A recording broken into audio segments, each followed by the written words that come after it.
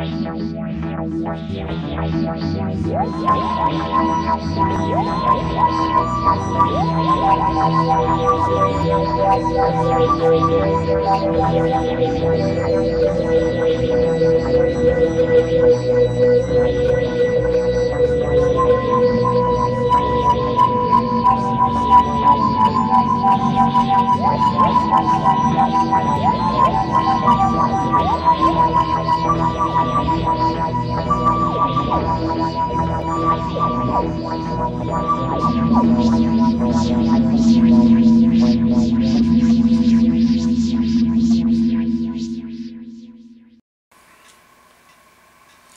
hello everybody. Welcome back. This is uh, uh, week 48. This is the next uh, edition of uh, uh, IMO vlog. And today we, our topic is pop psychology, Dr. Phil and Oprah. And it may seem to be a deviation from our, our original topics, which were, were was slut shaming and um, and then we did uh, tween and uh, tween and teen girls, uh, looking at the the sort of I guess you will the reality versus rhetoric of girls, and we started going into that. And I noticed that we haven't really finished these topics. And I say, well, why are we going over here for now? You know, why are we going over here now? Why not just sort of continue along the, you know, along the way? But in many ways, this is going along the way because there are. This is a, a, a component that is related to girls. In other words, this whole series, uh, the IMO vlog, is going to be focused primarily on girls uh, and uh, we call female behavior. And it's being it's it's aimed in this way specifically because IMO from uh, Awesomeness TV came out of the beauty guru, came out of the beauty guru community. And if you want to improve the world, if you want to really sort of push the boundaries, then you need to take people from where they are, and wherever they are, into new places, into sort of breaking the boundaries uh, and breaking the barriers. And this is one of the ways of doing this. Uh, most girls, uh, although they are intelligent, will not break the boundaries. They will stay well within the textbook, and that means when they go into psychology, more often than not, they will uh, uh, stay well within uh, called textbook psychology. And inside textbook psychology, psychology, this is where you get Dr. Phil and Oprah, and they are the creators of pop psychology, popular psychology. And it's psychology for entertainment purposes. It's in other words, it's sort of like an old magic show, and instead of hypnotizing a person, you're ooh, fixing their problems and dealing with their issues. And it's entertainment. This is you're you're, basically uh, using other people's uh, serious mental health issues as your entertainment, and you can decide for yourself whether this is sick and wrong, and uh, you know whether it's moral or not moral. Uh, but otherwise, uh, you know, it is part of the series. As I, these series are part of the Insta vlogs here. These, are research notes. Uh, we are going to be going in this whole series, the whole Insta vlog series, is about going beyond the textbook, going into research. It is because it's part of my research. It's part of. It is not part of a textbook study, and it's a, because girls do tend to be textbook oriented, I do want to break those barriers. I do want to break those bounds because there's a lot of information that they need to know. A lot of what happens to them in society, in the world, the way things are. And one of the narratives I was just sort of reading about looking up on feminism because the next series, uh, the next edition is going to talk about feminism.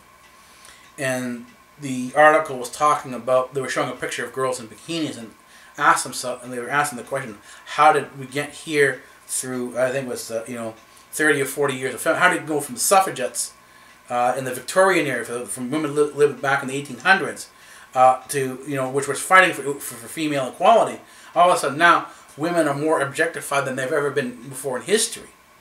Uh, they are properties. They're sold as property. Uh, and you see this in uh, educational film after educational film, films that supposedly have a narrative to them, uh, a moral narrative to them that this is wrong and so on and so forth. That a lot of you know the way uh, guys treat girls is wrong, and yet what happens is none of it gets better, it gets worse. And this is where we look at these issues, this is where we peel back the layers and begin our research into seeing what's going on. Why, does, why do we see all this stuff here? And it's important for girls to understand this. It's important to understand that there is a beyond the textbook. There are questions that need to be answered for them, but they're not in the textbook, and they're they're there because they're not wanted to be. In the, they're not supposed to be in the textbook. That there is hidden information, and then there's public information. That there are two sides to things, and that more often than not, the things that girls need to be aware of are actually in hidden information and not in public information. And this is where we get into uh, the whole situation of pop psychology because there is a hidden side to pop psychology that very few people are aware of that affects how pop psychology emerged and how it sort of evolves and then why it, it also involves a lot of uh, you know you know in many cases it involves girls you know girls are are, are, are a particular uh, uh, topic here because you know uh, there is a lot to be said about them there's a lot to do with them and they are a target of a lot of unfair things. And let's be frank about this. Is then this is we're talking. We'll talk a bit more about rape, and this is something that uh, the geeky blonde uh, talked about. This is there are several other uh, YouTubers who talk about. We will be getting into these in, in, in a more in depth series. This is going back to slut shaming and everything like that. And that there's a fundamental mistake in here, and that psychology really lets people down because the psychology in the textbook is not the real psychology. There is actually hidden psychology that is used by the governments, and a lot of governments use this psychology to change and manipulate the situation that's going on. So it's so that society is the way the politicians want them. In other words, there is a sense of control, a a form of psychological manipulation that's going on that changes how people understand things. And it's not necessary that these people come to an understanding the the the, vic, the victims, but the uh, let's call them victims anyways. The general public public's understanding. You may have very intelligent people being manipulated in ways that they don't necessarily understand they're being manipulated. And this is where you need to start looking at independent knowledge. Most girls, when you look at them, they talk about their influences and so on and so forth they talk about role models. Girls are very heavily into role models that people need to be a certain role model for a particular person. Well, the reason why I'm against having role models, so not because I don't think, oh, that person's not nice. It's not an issue of being nice or whatever. It's an issue that you need to understand stuff for yourself. You need to ask questions. And being questions is asking questions is not being mean. It's not about being mean. It's not hating people. It's about developing an understanding of what's actually going on in the situation around you. And this way you can make a better choice as to, you know, how you're going to do things. And the thing is, from pop, the pop psychology standpoint, from the, in the hidden, and, and, and not really pop psychology, but from the hidden standpoint, there is a view that girls can't handle the stuff in one level. Two, they don't want girls to understand what's actually going on. So they feel feed them a false narrative and send them in a false direction. In other words, a lot of the people controlling societies, sorry, and a lot of them are men, have these behaviors that are very predatory. They want and need girls for them to use. And they believe they have a right to use these people. And so you're not going to go out there and inform them, hey, you're being used. What you're going to go out, you're going to go out and try to change the narrative and try to create this psychology that tells everybody what you're doing is fine and normal. Don't worry about it. We'll handle it. We'll handle everything. You're all right. You're you're safe. This is what's really going on here, and they'll give you a false narrative. They'll give you a false story. And this is what pop psychology. Pop psychology is a false psychology. It's a pseudo psychology that gets a person believing, and this is even up to, up to the PhD level. And what I'm saying is that the option to move off textbook begins in the second year of university. And I said it's an option, it's not the standard path. People do, to a certain degree, go off these sort of the standard textbook thing, but it doesn't really lead them into independent thought. It doesn't lead them into independent thinking. they think it does, but in many cases they're being manipulated by other people who are sort of creating the image, creating the background, so they can drive them in a direction that they want that the, the person who's manipulating the situation wants the student to go in. And a lot of times it's basically misogynistic, it's, it's uh, egocentric, it's there to uh, promote the person's own ego. So when we come back, we'll go into we'll go further into pop psychology. We'll look at in at the origins of psychology and then how pop psychology emerges from it. Alrighty, see you in the next segment.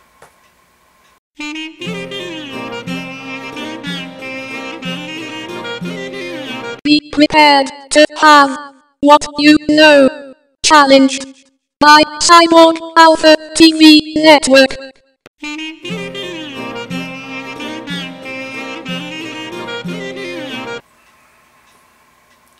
Alrighty, welcome back, everybody. It's time for the next segment of uh, the uh, the in my IMO vlog. I almost got my vlogs mixed up for a minute there because there's a number of them. There's not just one. And we're talking about the pop psych pop psychology, Dr. Phil and Oprah. These are the two primary icons of pop psychology. And a lot of what they do is actually fake psychology, it's not real psychology. Uh, because most people don't understand what real psychology is. Even the psychologists themselves will say, well, Dr. Phil, he's a doctor. See, he's got a doctor in front of his name. He knows psychology because he's a psychologist. Well, no, because there's a false narrative in psychology. And this false narrative continues all the way up to the levels of psychologists. A lot of psychologists don't necessarily understand what's going on because there were two connect there were two parts of psychology. Just the way in physics there's two you know two routes for science. There's a public route for science, and then there's a hidden route for science. The hidden route for science, well, what where is it? Where you know how well this is a conspiracy theory. Well, no. All you have to do is look at the development of the atomic bomb and understand that uh, the military has its own purposes, its own needs, and when it creates its science, it's done specifically for that. And the thing is, a lot of these, these if you look who, where the Department of Defense gets its scientists from, well, go look at the university funding, the funding, look at the research funding. You'll find a lot of uh, programs, a lot of research being funded by DARPA. DARPA is part of the Department of Defense.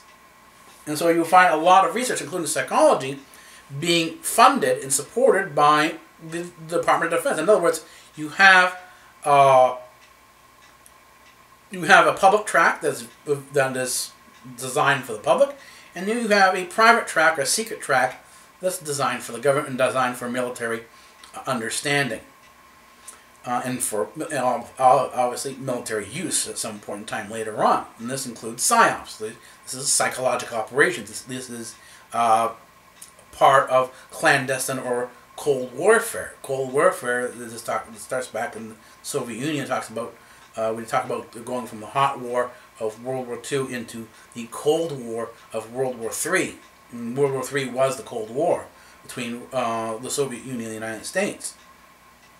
Uh, and it was a covert war, and a lot of the psychology was really developed through there. Even though it was work, they started working on from way back when. Uh, from actually, they started from it really began. The big stuff comes out start really starts coming out as an official program 1930s, uh, but you know it comes out from this sort of uh, these dark basements into you know into more of a mainstream uh, laboratory setting, which are basically funded by the military, but again, secret. And you would have the public face of the mental institute, or the, psycho- of the, of the psychological institute, or the you know psychi- psychiatric institute. These are the different places that you find them. You would have a public aspect, and then you would have a hidden secret aspect. There were, so there were part for the public, and there's part for the military two different parts, but to, to together they use the public face to hide the hidden face. And this actually can be seen in the origins of psychology. Go back to Freud and ask, well, who is the one uh, who developed the secret, uh, the, the secret psychology? And it's actually Freud's nephew, uh, Edward Bernays. And he's the one who took the basic work of, uh, of Freud, uh, his uncle, and took the understandings in there and created a way to start manipulating people, start manipulate society, so that instead of using open warfare, using hot war, using guns to control people, you could use uh, psychological manipulation, PR, and propaganda to control people. And the thing is, is that while they presented this as something new, it really wasn't something new. If you look at Freud's work, Freud's work is not new. You can actually find a lot of the Freudian concepts and ideas about uh, how the mind works. And, and, and this is the bizarre part of psychology. This is why psychology itself, from Freud on, is really a pseudoscience, not a real science. Uh, they were atheists. And a lot of times we'll say, oh, yes, they're atheists. Right? We don't believe in God. There is no God. We can prove there's no God. And then you'll find a lot of people in cognitive sciences and so on and so forth uh, working to prove there is no God. Well, they have a slight problem. Uh, because if there's no God, then all of their science work, all the research, all the intellectual work is wiped out. Because intellect is actually a function of the soul, it's a function of the mind, and it's not a function of the physical brain. They've been trying to prove this for years now, but have never, they haven't actually found thought within the brain. There is no chemical mechanism for thought. And this was demonstrated when, they, when, when you have uh, twins um, who are from the same egg, and I got, uh, I should have written down which was which with the you know fraternal and maternal. Uh,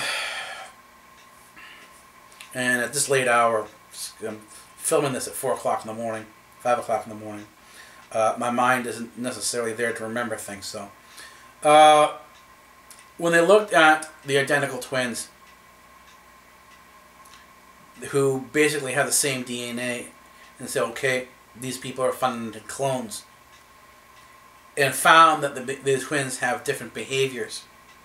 Well, all of a sudden, the whole argument that behavior is chemically oriented is gone. You have another explanation needed, and so psychology came, is, is still here today. The psychology of the mind is still here today, even though psychology itself, the psychologists, the scientists, have said the soul doesn't exist. And again, here's where the contradiction comes in the soul doesn't exist, then neither does psychology. Here's the thing: you, you, need, you need to understand that psychology is based on the soul. If the soul doesn't exist as a fundamental, then psychology doesn't exist as a fundamental. And even the terminology is, is it agrees with it. So you say there's no soul. In Greek, the term soul is psyche. Where do we hear the name psyche? We see it in psychologia. Psychologia is psychology. Psychology is the Greek term for a study of the soul. If there's no soul, then there's no psychologia. There's no psychology. So psychology is a, from the beginning, again, the get-go, a pseudo-psychology. And Edward Bernays knows this. He knows that it is a pseudo-science. That is, and therefore, because it's a pseudo-science, it's perfect for this as a science of manipulation to, to, to manipulate people. And they start using him, his new ideas. He's hired not only by the UN, but he's hired by companies who want to change the narrative in society. And so you have the marches in um, in these various different parades and so on and so forth in New York, and they were working on this way to uh, get women to start smoking. So you don't go up to women and say, okay, because women at the time in the Victorian time didn't smoke. And they wanted to change the narrative, so they wanted the women to start smoking so they could start selling more cigarettes. So what did they do? They went up to a group of uh, suffragists, a group of uh, women activists, and it wasn't a guy who went up to this, it was a woman who did this. They paid a woman to go up to a group of, of other women in these activists and start saying, passing out the cigarette and saying, these are the torches of freedom. When you light one up, a cigarette, you're lighting a torch of freedom. This is shows that you're breaking the barriers. You're, you're doing what a man would do. This is equality. And so they, these women, sponsored by the tobacco company, walk down the street lighting their torches of freedom in the parade. This was women, feminists, ideologists, being manipulated into selling cigarettes to creating an entire generation of people who will smoke cigarettes simply because they were told to by a company. This is PR. This is marketing. This is the origins of psychology in marketing. And it's also used in psychology in the psychology of warfare, in the psychology of psyops, psychological operations. That's black ops. That's uh, special operations, you know, special forces, assassinations, Cold War, intelligent warfare, uh, covert covert operations, black ops. This is all the core of psyop. This is all uh, hidden psychology, and this is all the creation initially. The the grandfather of all this is Edward Bernays. It's uh, Freud's nephew, and Freud knew what was going on. He understood what was going on, even at the time, he, up until the time of his death, he never said anything. He was upset about it, but he wasn't. He was he at that time point in time, the time he died. Freud was completely disillusioned in, man, believing that man was an unreasoning being, beast, that men were beasts. And included women in this. You know, that men could not be controlled, that they were a wild herd.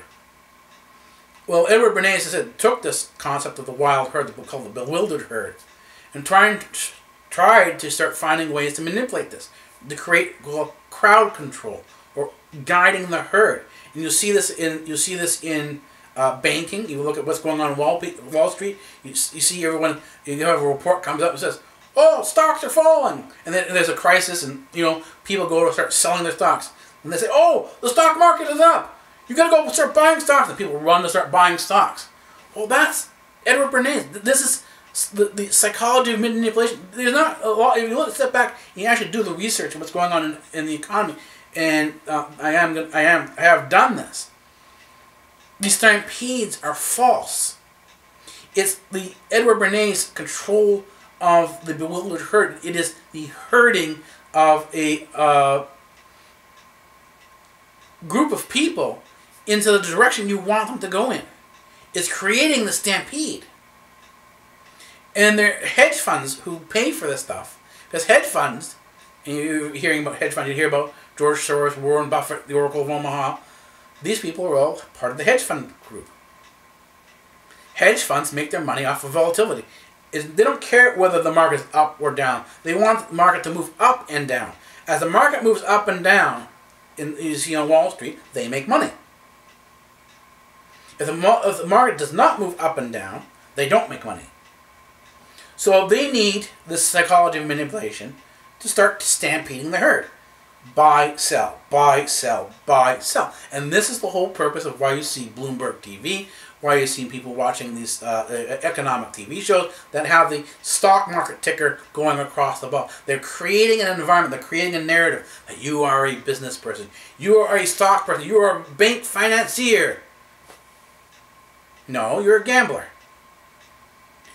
you're hedging on whether and betting on whether the stock market will go up or down, and you're following a narrative that is created and set for you in order to drive you, to manipulate you into buying and selling. This is what most traders are. This is how traders work. There is a mathematics behind this. There is a, a science behind this. But these people aren't working with the science. They're not working with the mathematics. They're being manipulated. They, they're part of the cell in Wall Street. They're part of the cell of the stock market, the capital environment. And they're needed to create this whole thing of uh, uh, uh, uh, the, the volatility you see that's needed so that the hedge funds can make their money. And this is this is this is the origin of psychology, and you can see this is not the psychology that's in the textbooks. This is not the psychology that you see on Dr. Phil or Oprah. This is the real stuff. This is the psychology that is hidden, that is not seen. And it goes into things like you mentioned this here. You can research this. Look up the term MK Ultra. You look at the term MK Ultra. You do a search on that term MK. M as in Mark and K as in Karen. Ultra.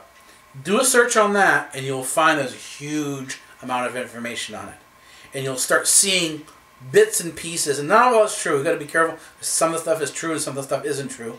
It's just simply taking a look and seeing what's there, looking at the volume of stuff that's there.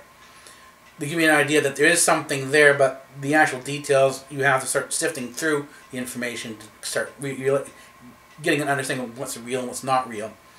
Uh, that there is a hidden world that the public knows nothing about, and that this hidden world involves a lot of psychology, and that the world that we do see, the public world, is a pop psychology. It is a, a fantasy created for us.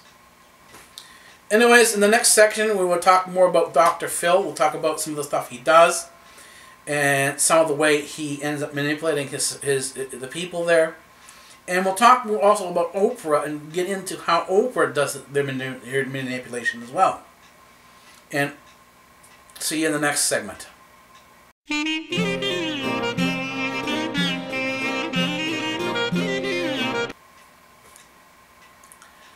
Everybody knows Dr. Phil. Everybody knows Oprah. And we all know Dr. Phil is a doctor of psychology. And he proudly presents his credentials every time he gets up there and he's out there, you know, seriously helping people. You know, he's there to, help people with their problems. And of course, every week it has a different theme and different particular issue. And we see, uh, if you look at the length of time he's been on TV, you look at the number of psychological problems, you look at the number of uh, mental health patients, uh, mentally ill people who are being shot by the police, shot and killed by the police, you realize that things are getting worse and not better. Uh, this includes uh, what we see in uh, the, the uh, I think it's Sandy Hook school shooting, that's in Connecticut. the person was the person who did the shooting was under uh, uh, psychiatric treatment at the time. He was on medication. He had severe mental health problems. And we see there's a, a lot of, with, with, this Columbine, all these different school shootings, there is an element of psychology that's behind it that's not often brought out. And if Dr. Phil was actually doing anything significant, these things wouldn't be happening. He would have, because he's all, he's you know, he he he, he talks to everybody around the world because his shows are broadcast like that. And if people understood what was going on, it wasn't simply just entertainment. Then there would be a solution there. And but this is where the kind of the false narrative is, and this is where you know you have to be careful what you watch on TV, and understand that the solution isn't always entirely presented there. That there are things that are not understood. That, that in many cases, when you're watching a television show, particularly if there's a dramatic background music or there, you know, there there is there's some degree of, uh, of drama there, that a lot of the drama is actually created as a creative narrative, and it's there for entertainment purposes. It's not there really to give you good information. And as I said before, if, if, if you watch this all the way through, uh, there's a hidden psychology there. There's a, there is a psychology of manipulation. A lot of the psychology that you see on Dr. Phil is presented in the way it is because this is where you get the term pop psychology because it's, a, it's psychology designed for public consumption. It's not designed to show you the real psychology that's going, how people really behave. It's designed to give you a view, a painted view, a designed view of how people behave. In other words, it creates a narrative, it creates an environment that makes you think one thing is occurring when something else is when something else is really occurring. In other words, it hides a lot of the truth to what's actually going on behind the scenes. And this is why in many cases the results are not that good. You'll have people who will leave, and you've actually people leaving these shows like uh, uh, this is where what happened to uh, the, the, earlier the predecessors of Dr. Phil, like Sally Jessy Raphael and I think it was Phil Donahue.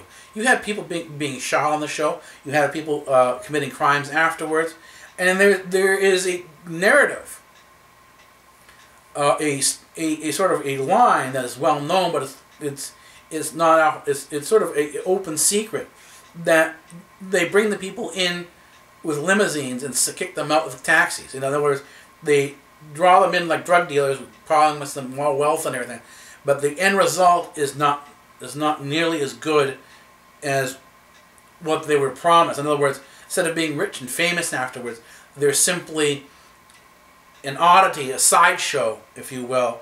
And then after they leave, they go back to what wherever they were, and they don't leave on, on, on limousines. They leave, uh, you know, uh, economy class, taxi. They're not leaving with a chauffeur. They're not brought in. They don't leave the way they were brought in. And this is obviously evident with the Dr. Phil show. If you go back and you go do start doing background research into Dr. Phil, start looking at, you know, are things as rosy as they, they appear on the show? You start finding problems. You start seeing that one person has this problem, other problem. You know, there are a lot more problems that sort of pop up than are just presented on the show. In other words, the issues are never resolved in the show. Uh, they're not really resolved in the show, and a lot of this is simply entertainment. In other words, we're using other people's pain, other people's problems as our entertainment, and that's what these shows are designed to do.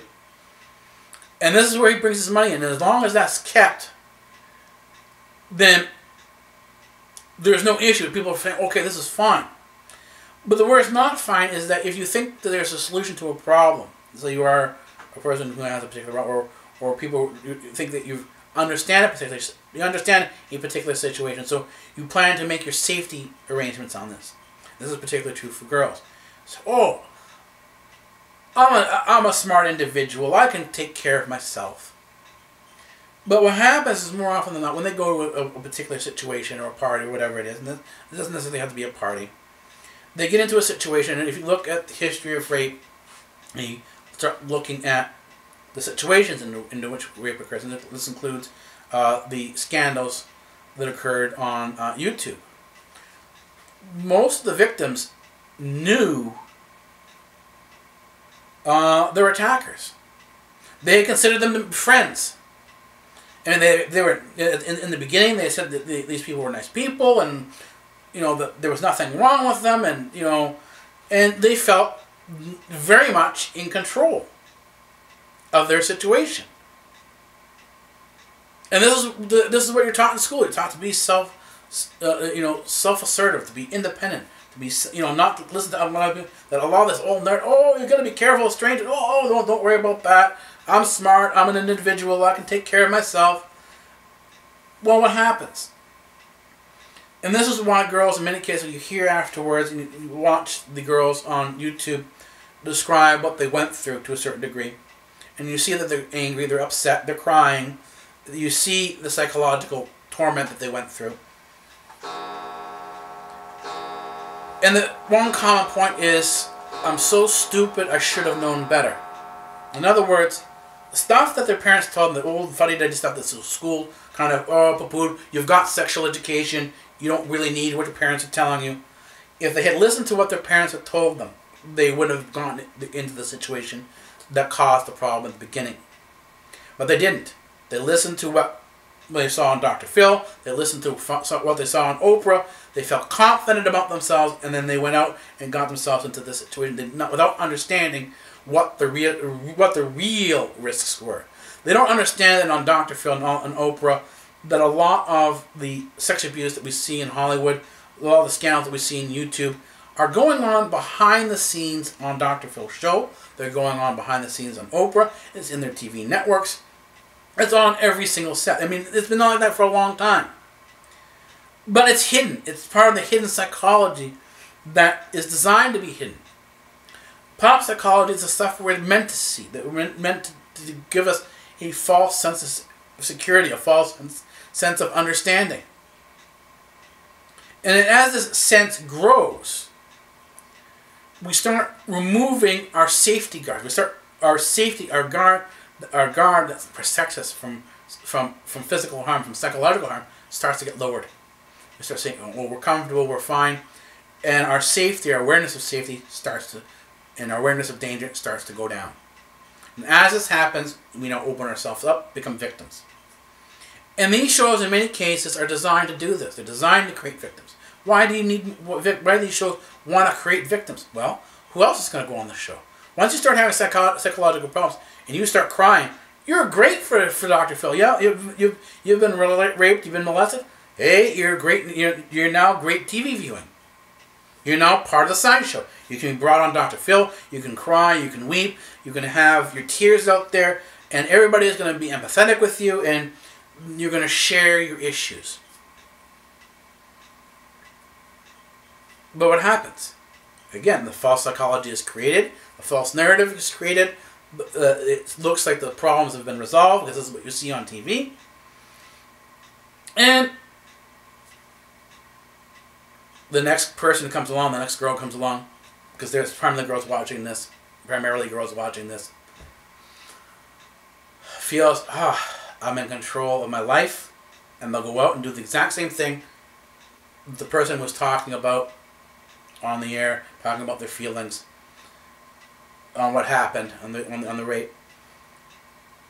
And they don't talk about all their feelings. They talk about some of the feelings.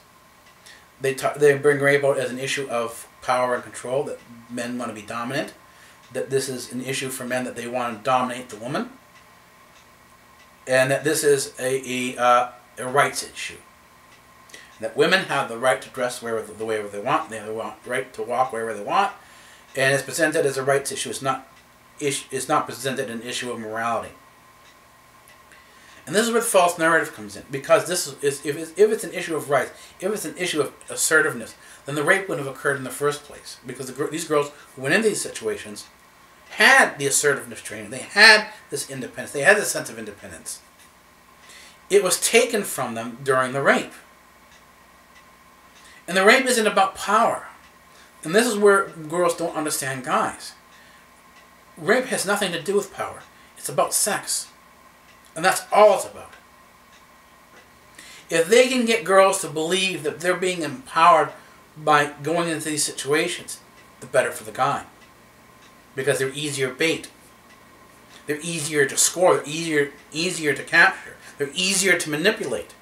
And what happens as the girls become easier and easier to manipulate, because this is what's going on on their TV shows. They're being manipulated in their TV shows with an Oprah and this pop psychology. They become easier and easier targets, and this is why you see what's happening now. You ask the question, well, how do you get to the point with all this, these years of feminism? How do you have uh, people walking around, girls walking around in bathing suits that are essentially band-aids? Well, simple, because they've been victimized.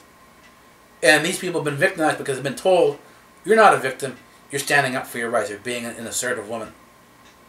And the guys are loving this. Because there's never been so great of an opportunity for them, ever. Because at the same time, the girls will turn around, wow, he's a Neanderthal, he's an ape. That will go, great, I'm a Neanderthal, I'm an ape. I have my man cave. That means I can go out and rape whoever I want to rape. Because why? I'm a Neanderthal, I'm an animal, I'm not responsible for what I do the narrative is created, the narrative is set. And now you have people who will continuously line up for TV. You have sob stories. You have these different things, the drama, that will sell newspapers, that will get people to watch TV, that fills these shows. This is Oprah. This is Tyra Banks. This is Dr. Phil. This is uh, The View.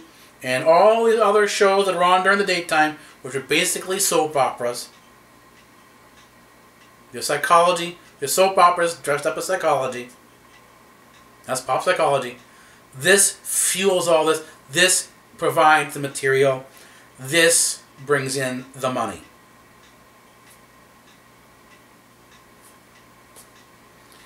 And so, what do you what, do you say about this? How do you you know, other than realizing that this is something that's wrong, and we will get into more of the details. Of this is we're sort of introducing this stuff. There's a lot more here. In the next section, we'll talk about specifically what happened on Oprah that demonstrates this even further. When we come back, Oprah, pop psychologist.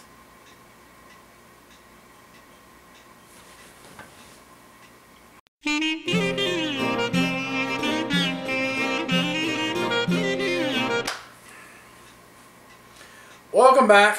Uh, we're now uh, working on our third and final segment and this is Oprah, pop psychologist. Oprah uh, was supposed to set a new standard for these TV shows. And she did. She was a pioneer. She uh, was the first black woman. She was celebrated for all this, and she's known for her philanthropy, if you will. Well, again, this can be questioned. I mean, you know, Uh, is it philanthropy when you go to Africa to build schools in Africa and you have cameras in tow and use this in an entire PR and marketing campaign? Uh, it is a PR when instead of you know openly giving to uh, American schools and other schools of need, you pick and ch- choose, cherry pick and choose schools you want to give to and don't want to give to. I mean, if you're supposed to be paying extra tax, if it's supposed to be the socialist narrative that everyone needs to have a share of the, of, of the pie, then why isn't she sharing equally? But again, this isn't questioned. Of course, for, nobody questions this because nobody questioned, questions Oprah. But the problem can be illustrated in uh, in her book club of what's going on and where she is actually a false. This is pseudo psychology. This is false psychology. Uh, and this has to do with uh, one of the uh, books that she promoted on her book club. She brought on this guy who, who, who talked about how he came from the streets, and he wrote a book about his experience in the street, and he became a bestseller. They brought him around to all the different uh, clubs and to different meetings and to different uh, dinner parties and so on and so forth. And he became an instant star. He presumably became an instant millionaire. He was part of the high society when he had started off, you know, out on the streets. If you understand psychology, you understand real psychology, you would understand that a person who's living on the street has, has severe psychological and mental health issues. And a lot of these issues include, include things like schizophrenia and bipolar disorder. And in both schizophrenia and bipolar disorder, there's a uh, component of hallucination and uh, fantasy. In other words, they live within a fantasy world. They live within a world that is not specifically real. It's an, it's an illusion. Understanding this, you would understand that when a person from the streets write the, writes the book, you would understand that a large chunk of the book would be fiction and not real. It's not that the person's lying about it. It's the person believes that this what actually happened. I have done a bit of work on the streets of Toronto with homeless. And I've chatted, unlike most psychologists and researchers, rather than putting them on a couch and putting them under a microscope and sort of you know, probing them at the lab. Uh, my, my approach was different. You treat them as human beings. You treat them as people, and you and the way you do psychology is through observation, and you can observe a person's behavior as you're as you're talking to them, right? So, you go out, you sit down, talk with them, you invite them out for a cup of coffee, you know, at a local donut shop or whatever, and have a discussion. You talk about things. You let you let them ramble. You let them talk about whatever they want to talk about. As they begin their discussion, they first are a little hesitant about things, and they and the ch- the chit chat is general. As they come become more comfortable with you, they start opening up about their life and how they got what they got, and uh, you know that they appreciate that you're sitting there talking to them. They, one of the big issues for a lot of people in this is that well, yes, people do give them money, but what they really want is they want human contact. They want to have somebody to talk to, and they're appreciative of well, you're sitting there having coffee with them. They're happy for that. They're happy that instead of just having someone toss a coin into their cup, uh, and walk on by, they have someone says hello, and someone now someone's now sitting down and having coffee with them. And as they start becoming comfortable with that and start talking about their experiences, and this is about one person who uh, uh one person I've met who's I'll give you the, the, the details, not detail, but sort of his discussion. And he talks about how, you know, he says he doesn't understand why every time he goes to work and tries to get a job and hold down a job, that these aliens come in and start shooting laser beams at his head. And he's talking about, the, about this in a very normal tone, tone of voice. It's not as if he's imagining this. This is real to him. These are his experiences. And yet, you and I know this is, doesn't exist when you read, sit down and read the book that was presented to Oprah as real, the same type of fiction pops up in there. You recognize the mental illness right away. Oprah didn't recognize it. Not at all. they, people started saying this book isn't real, this book is fiction. And when Oprah sat back and started looking at the book more carefully, she began to realize this. Her reaction wasn't, oh, this is part of the mental illness. The reaction was, oh, he's lying. And they turned him into, and Oprah, on air, turned him into a pariah. And not even Dr. Dr. Phil didn't say anything. Why? Because he didn't recognize the mental mental illness, the real mental illness in this person. In other words, they took a mentally ill person off the street, created a false image of the person, and when the false image fell apart, they blamed the person. They blamed the victim. And if you know anything about bipolar disorder, if you know anything about uh, the hallucinations of schizophrenia, you know that destroying these hallucinations without the proper, uh, without dealing with their with their issues, is a recipe for suicide. This is how a bipolar person commits suicide. If you look at what's going on, if you look at the suicide of uh, Robin Williams. Robin, Robin Williams had a bipolar person, uh, a bipolar disorder. He was bipolar. You could see that he was bipolar. And if you understand the psychology of bipolarism, the uh, the bipolar disorder, you know that, that that suicide does not occur on the low, when the person is down in in the in in the black mood. It occurs at the peak of their up mood. What happens, the person is when they swing from bipolar, they'll go from a low and they'll go to an extreme high. They become very hyper. And this is where they have all their ideas. And then at the peak of their of their hyperactivity, the peak of their bipolar swing, this is where the bubble is burst. It collapses on them. And they go sharply down. As a, as a drop of a cliff, they go sharply down to the low.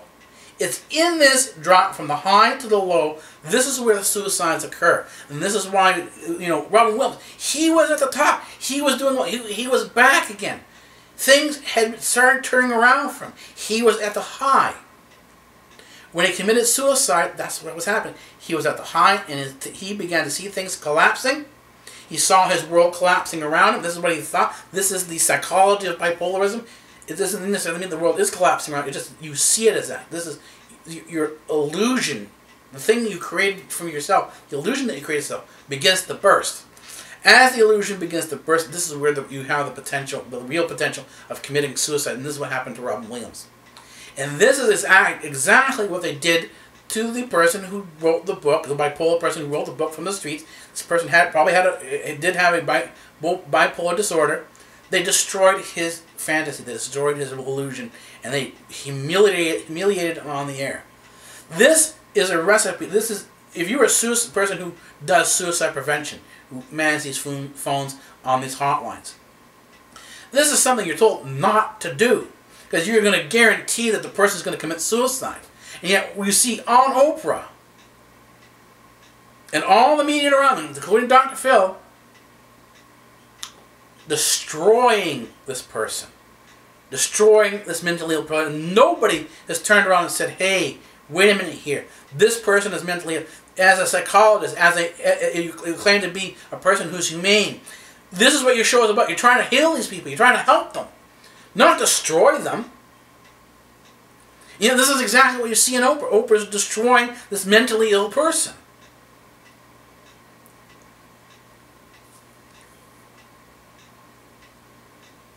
And this is where you start seeing this whole thing of textbook psychology, of pop psychology, as being false, as being a pseudo psychology.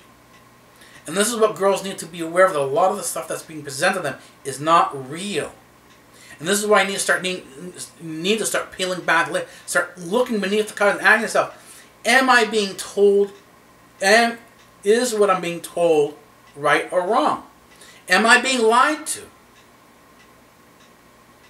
And people will sit there and lie to you with a very straight face, particularly if it means money for them. If they're making a lot of money, if Oprah's making billions of dollars, she's not going to risk her money to help somebody who's poor.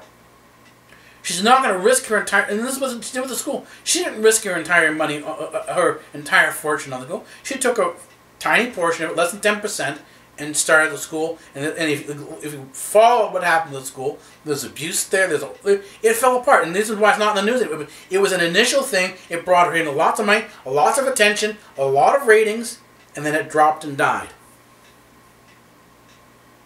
And this is the face of Oprah. This is the face of Dr. Phil. This is the face of pop psychology, and this is the face of what's going on within the girls. This, this is what this is where we come from from IMO. IMO is the exact same thing. It's a five minute version of Dr. Phil and Oprah. And this is where the need is to sort of start start peeling back. A little. And this is what IMO vlog does. IMO takes the superficial five minute uh, uh, uh, pop psychology session and peels back the layer trying to get a better understanding, trying to get bring about a better understanding of what's really going on. And the, I said this is how you've seen it, how it connects back to slut shaming, how it connects back to the sex scandals of, on YouTube, which are I don't call them sex scandals, they're rape.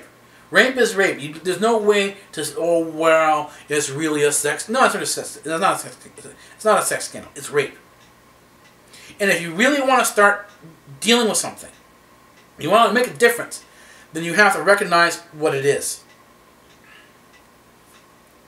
And unfortunately, for the Geeky Blonde and a lot of these other people who talked about these uh, the issues on, on YouTube, they avoided the issue. They don't really deal with the actual issue of rape within their discussion. And so what happens, the narrative becomes fine now for uh, YouTube.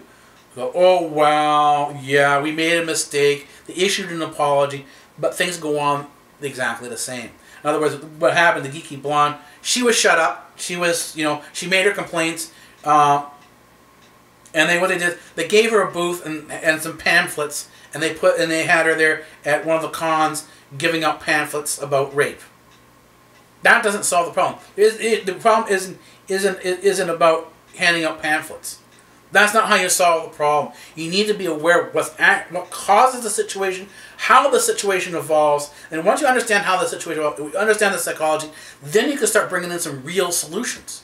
And until you do that, there aren't any real solutions there. These, these solutions are pseudo solutions. They're pseudo psychology. They're pop psychology. They're they're they're, they're meat and feed for the popular television circuit. They're, they're things you go on Oprah and Dr. Phil and cry about. They're things of interviews.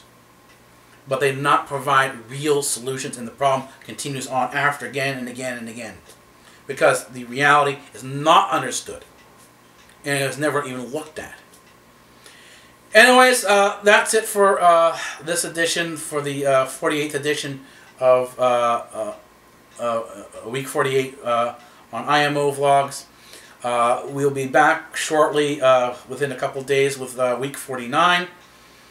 we are getting caught up on our filming, so look for these shows to come out on a more regular basis. And this is, this is not going to be short. These are continued week after week. And bit by bit, we're going to peel back the layers and look at things more in depth. And again, in depth, in depth is not five minutes. Sorry about that. All right. Uh, see you uh, in the next uh, Uh, episode. All right. Take it easy and goodbye.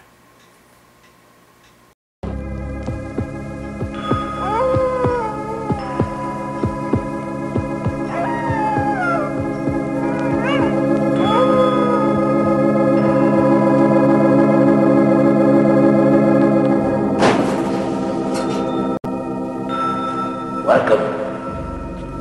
Welcome to the library. And I am the